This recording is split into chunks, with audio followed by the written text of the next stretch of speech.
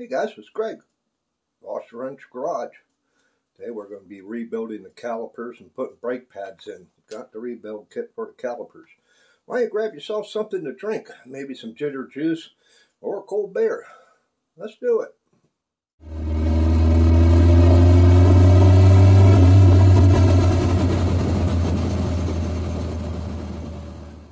We're going to do our video shout out to Ben's uh, Ben Molesworth over in the UK. His channel, I got it kind of messed up here.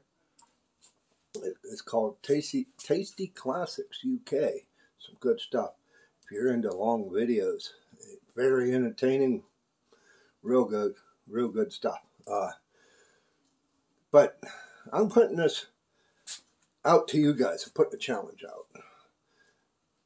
Help other channels out. Give them a shout out kind of like what I'm doing right here. Helps their channel out, and plus, if they put do a shout out back to you, it helps you out. So, here's a shout out to Ben over at Tasty Classics UK. I'll put the link up above, right here. I'll move my head so you can see it. And down in the link, uh, it's just comment section below. So let's get to these calipers and brakes. Now here's the passenger side, which I have already finished rebuilding this one. And uh, I am going to be getting new lines. Uh, I'm going to be replacing the steel lines, which these ain't bad. They've got a little bit of surface rust, but just to be on the safe side, that's what I want to do. Uh, well, we're going to go over on the passenger side and get that caliper off. I already have it dismounted from the car, but I'll show you what you need to do there and get the caliper loose, hopefully. I may have to remount it. Let's go over there and I'll show you. And uh, because to crack the line loose, it's going to be tough with it just sitting here. So I may have to throw the bolts back in, which are on the back side and uh, might turn the steering wheel so this is turned so I can work on it a little easier. But I want to break this line loose, unspin it, and then we'll start uh, tearing it apart over there on the bench. I put the caliper back on and I put the bolts back in the back. You can't see them, but they're back here. Uh, just to let you know that they're a 5 8 bolt head. So if you want to remove those, that's what size you'll need. But I, I mounted it back on so I can get some leverage and just pull this uh, spring back and slip it over the over the fitting and just give it a love tap. These have been coming. I've been I hit these with blaster oh, few days ago, a couple times I hit the the, the bleeder screw. Uh, I hit the screws for the mount to separate. I forgot to hit those though, but hey, it is what it is. But I'm gonna set you back up, get this off, and then meet you over on the bench. I'm going to do is I'm going to try and crack this bleeder loose. I should have done this when it was on the car. Didn't think about it. I don't have a deep well deep enough, but it still can be done with a uh, shorter socket. You just can't put the wrench all the way into the socket to uh, get a good bite on it. But maybe turn that around and get better leverage.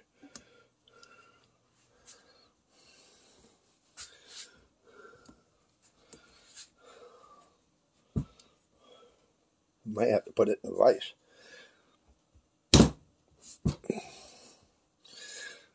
There we go.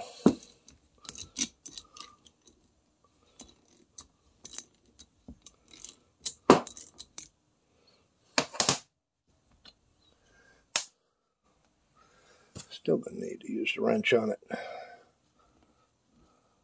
Something to grab hold of. Now I'm just going to take the bleeder, set it off to the side. I have a little container. which I'm putting stuff in, and uh, try and drain some of this fluid out. As much as you can. And the passage goes through, I think goes through this side, if I'm not mistaken, over to this uh, pot. You want to lift it up angled to where you'll get it to drain. The last one I did,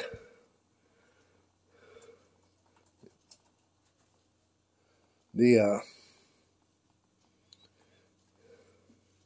probably good enough. It was all gummed up in there, so that's the reason why I'm going to be pulling it apart and uh, cleaning everything up. So next, what I want to do is bust these four loose. Uh, find my little bit of blaster, which I didn't soak these ones down. Which I, I should have done a while back when I did these.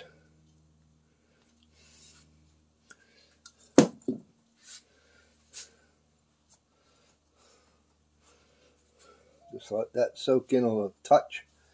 Uh, I am going to have to put this in the vise because I know I won't be able to hold on to that. These are half inch, just to let you know.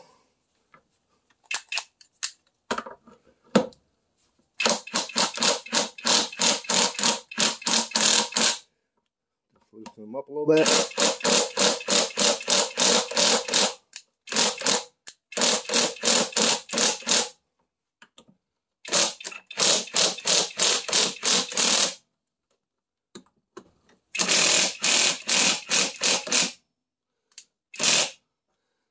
Like to retighten them a little bit just to make sure the threads are going to be clean.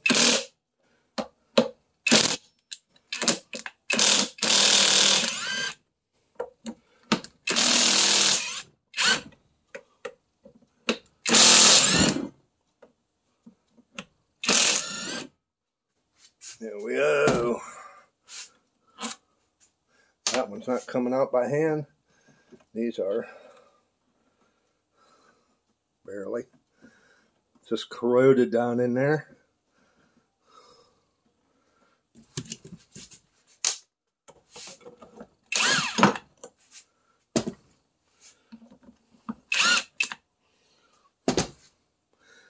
Already coming apart on me. Okay, we'll set these off to the side and reset you up.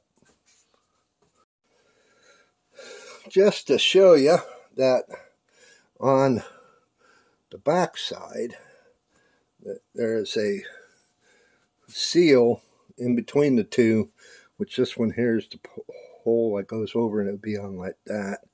Uh,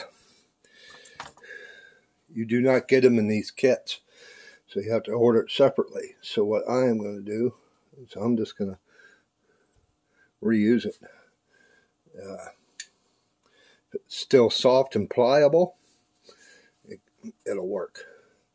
So the next thing we are going to do is set one off to the side and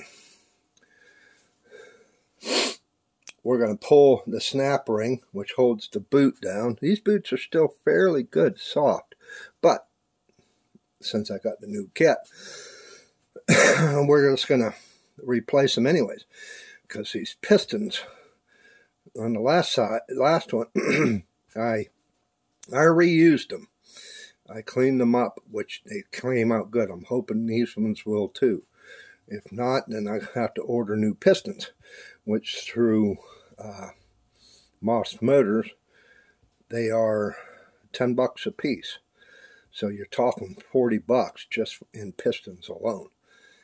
Uh, the kit, if I recall, was nine bucks. Uh, I'd have to look at the paperwork, but I'm thinking right around there. And then the brake pads and shims, I can't recall. They were probably 25, someone there. Because I just went back to stock pads. I don't need no high dollar pads. Like I like I've said in the past, this car is a uh, preservation, not a restoration. So, and to, to get them off, all this the ring. I will show you the one from the kit. Let me just put this stuff out on the counter so it's out of the way. It's just a ring which is split. Uh, but it's right here. I don't know if you can see that in the camera. So the easiest way I have found is just to take a screwdriver or something to get underneath the ring itself. There we go. I'm going to reach around behind it and just feed it around. Comes right off. And then the then the seal itself is this one's being a little stubborn. Well, there's a lot of rust on the bottom of that. It sits. Let me see if I can get turned around here. The bottom side where the ring is sits right here around the bottom. And then the upper part, the inner part of the seal sits inside this groove.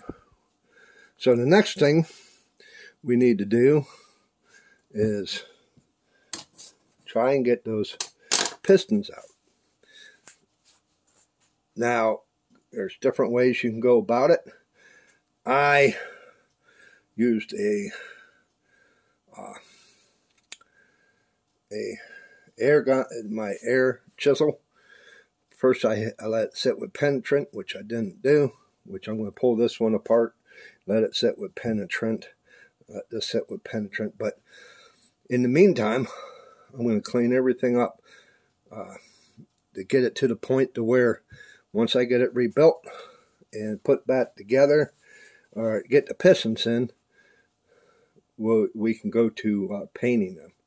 But um, so let me put some penetrant on this, and we will see if we can get them out. you can use on the one side. You can't do it on this side. Well, you can, but you got to pump somehow pump it into that little orifice using a grease gun. But then you got to clean out that orifice in the inside of all that grease. Which I don't care. I mean, it's a good idea. You could take an air line if you got. I I have an air gun, but I don't have the uh, a, a rubber tip to make a seal to push that out, which that would be the easier way to do it. Uh, all I have is this, which I don't think will work. Let, let me pull that seal first, find the ends, it's right there. Get my tool that worked good. And that wasn't it.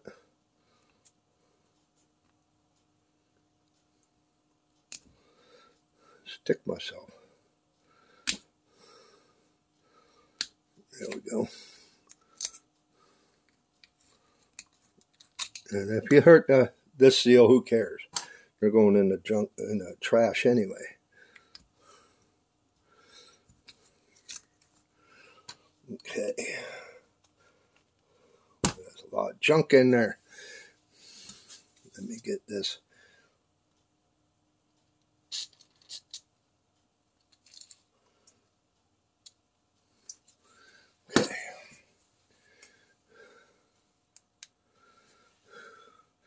I may give that a go and see if it will uh, push it out.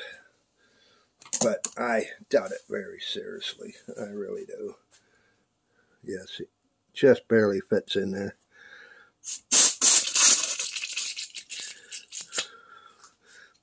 Pushing the fluid out. Still got junk in there. So let me grab my catch can. See if we can.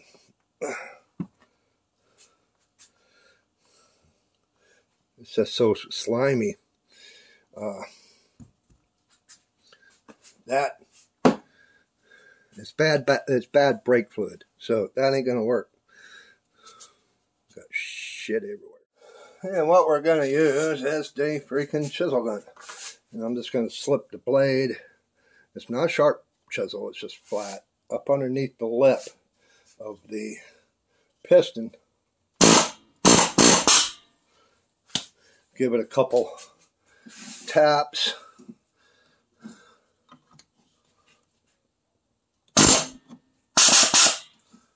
This freaking gun. I should have never bought it.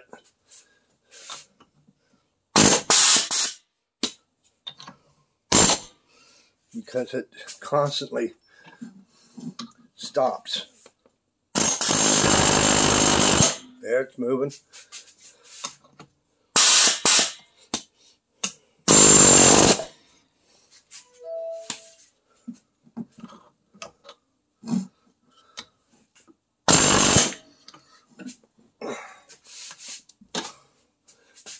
Tighten that down a bit.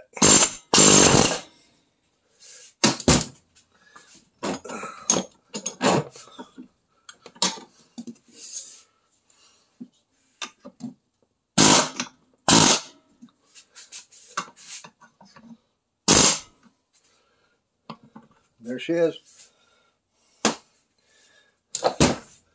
So, just to show you guys what I mean by crappy brake fluid. Take a look at that. Yeah.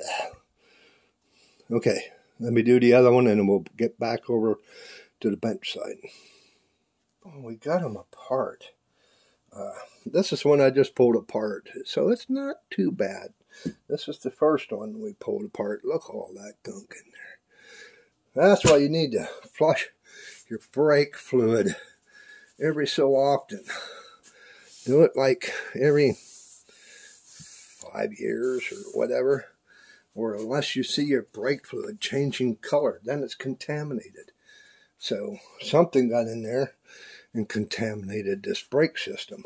That, and you don't mix, I think it's dot forward five uh, because then it will gum up. So that's a possibility what could have happened there. But this, yeah, that's gross. So what I'm going to do is I'm going to clean them all up, uh, give them a cleaning with some brake clean, and then we'll go from there. I'm not a happy camper that these did not clean up like the other ones. These are worse. They're pitted halfway or better past where the seal will be sitting if you look inside the seal all the way compressed would sit right about where my thumbnail was. So anything below that, and there's a couple dings, which I didn't notice I put in there with with the uh, chisel hammer. So what I am going to do is order two new pistons. So, but we still can keep at this, getting prepared and ready for whenever they do come in. Uh, what I'm going to do is pull this seal out, which is no good anymore.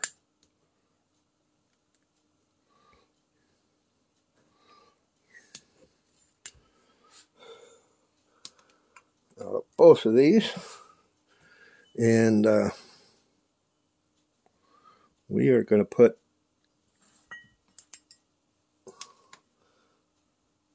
some sandpaper, which is a eight, uh, I think it's a 600 grit, which I, I used the same thing as trying to clean them up as I did before. But we're just going to take some sandpaper and clean up the area below, you know, kind of below the, the where the seal would be, but also clean up the upper section to get it prepared, and then we'll go and clean the rest of the caliper and probably give her, give her a shot of paint. So all I am going to do is just take this and fold it over so many times.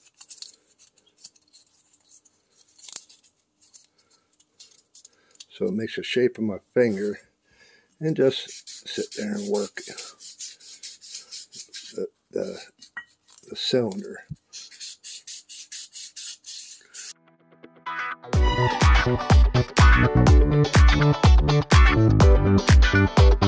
Well,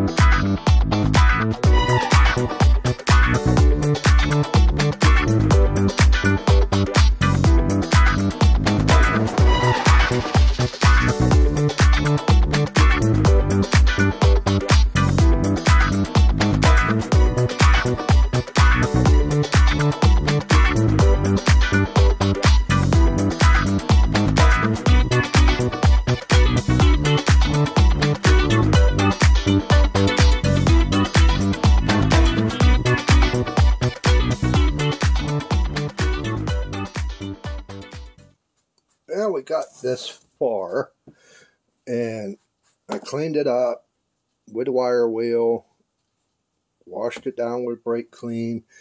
I did do all the bores. They're nice and clean. The groove for the seal, I cleaned. And now I'm packing uh, uh, paper towel as a backer just so I can cover because when we paint we're not going to want to uh, get paint inside.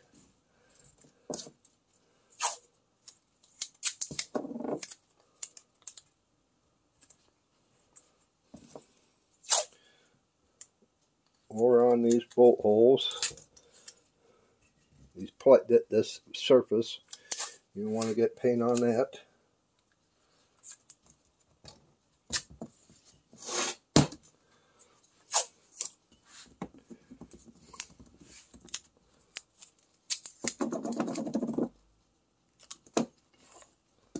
Then I'm going to take a uh, razor blade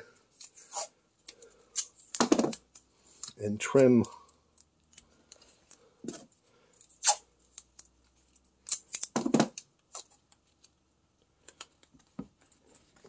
around the around this edge, but I won't on this edge because it don't really need it.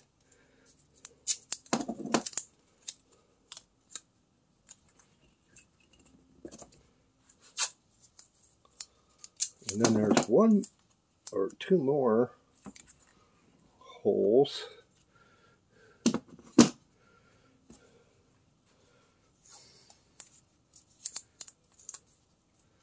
You don't want to get paint in is the is the uh, inlet for the hose. And I cleaned up the bleeder. We're just going to slip that down in to where she's just finger snug wrap some tape around it.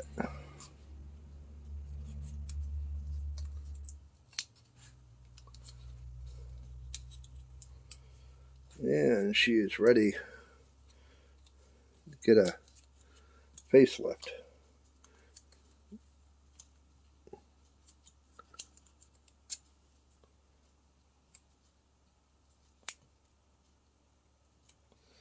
So I'll hang these up over on the wire or paint and then just give them a coat.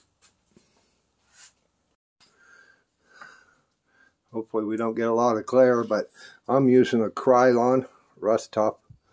Uh, it's an enamel high gloss. And just give her a coat. Try to cover everything that you can from every direction. Sorry, I'm trying to hold the camera at the same time.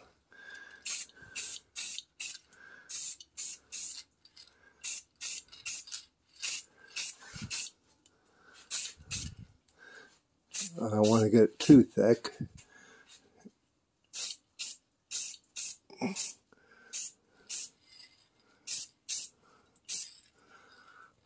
Trying to get the back side here.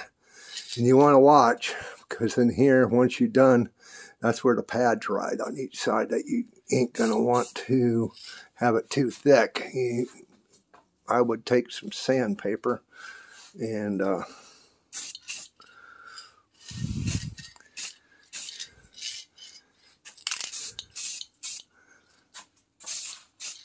just scratch that off and now we'll let that dry. I only got one wire, so we'll throw the other one on once it's dry.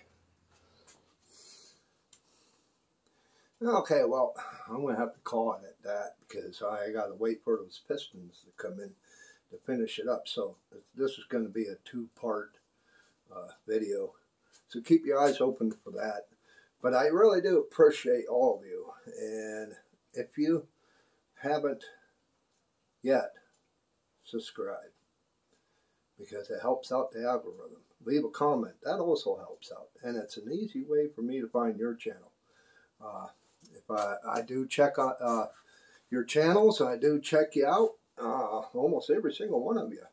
Uh, yeah, I am a small channel right now, but hey, you know, I can check, I can reply to almost all my comments, which I try to do. Um, but yeah, give me a big thumbs up and not the finger. And hey, why don't you go check that video out? And we'll see you on the next one.